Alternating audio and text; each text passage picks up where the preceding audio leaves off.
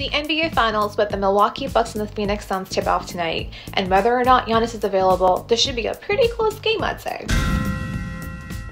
If you're the Phoenix Suns, what you do have going for you tonight is the uncertain status of Milwaukee's two-time MVP, Giannis. If his hyper-extended knee keeps him out of game one as anticipated, then it makes sense for the spread to be minus six in the Suns' favor. But if somehow he makes a recovery, expect a lot of money going to the Bucks. The Greek Freak had 80 combined points in the two regular season matchups between these two, and the Suns just had no way to stop him. But mind you, Milwaukee lost both games by one point, and one of them included an overtime thriller that Giannis couldn't be a part of because of his calf strain. And that overtime thriller without Giannis, I think actually indicates that this game might be closer than people are thinking. So here are my picks. Take the under at 218.5 total points at minus 10 and take the over 11.5 rebounds for DeAndre Ayton at plus 105.